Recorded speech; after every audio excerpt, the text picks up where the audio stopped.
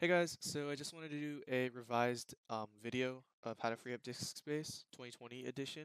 So uh, you'll know when you get it, it's when you try to download a game or update a game and it says you don't have enough disk space. It'll be like an error message that pops up.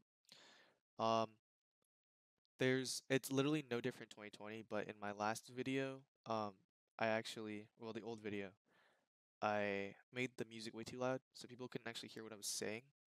Um, yeah, I wasn't really thinking. So I'm gonna do one with just no, no music at all, so you guys can focus on my voice and understand everything completely and clearly.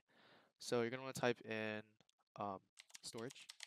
The first thing that pops up should be your storage settings. Enter on that, and basically this is gonna be your boot drive. Whatever is here is gonna be your boot drive. Um, basically, you're gonna want to start un clicking on each one of these categories. You can show more categories. You click on that, and basically just start uninstalling anything you don't use anymore, anything that's just obsolete to you. Um, so that goes from apps and features, other, whatever that means, system and reserved, desktop, documents, temporary files, pictures, and videos, and yada yada yada. You get the point. And so basically that's if you if you only have one hard drive, uh, you don't have to worry about anything. But let's say you have two, right? You have a boot drive, and then you have your hard drive also connected. Then what I would do is you would have to instead of going to that setting, you'd have to manually go into your file explorer and find your drives up here, find your drives. So I click on this PC and then it'll show all your drives. So I have my uh, USB stick. Um, so that's not part of it, but um, I have an SSD and then I have a D drive and an E drive. So this D drive, um, it's this is like part of the Toshiba. Uh, these two are actually combined, but there's two partitions for it, so you should only have one.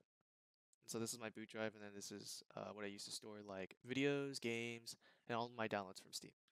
So you're gonna want to go into here and start deleting stuff that you don't need from whatever your uh, hard drive is. And you can tell by the space.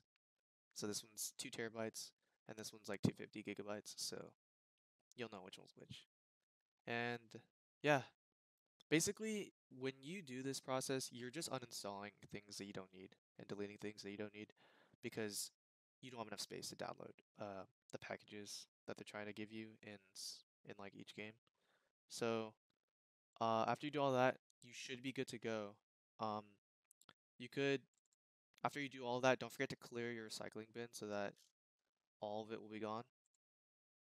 So I'm gonna do that right now. You just right click on this and then, wait, how do you clear recycling bin? I forgot, but yeah, um, you just do that and clear it and everything should be good to go.